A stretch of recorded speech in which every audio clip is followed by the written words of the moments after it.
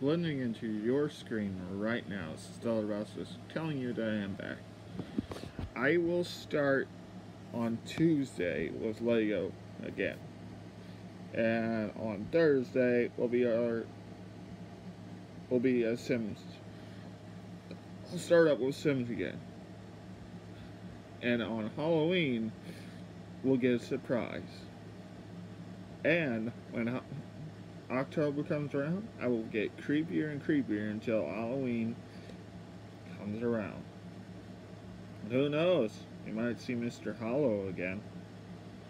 I don't think he has a story for us this time, though. But I digress. I hope you. I hope to see you guys soon. Bye, guys.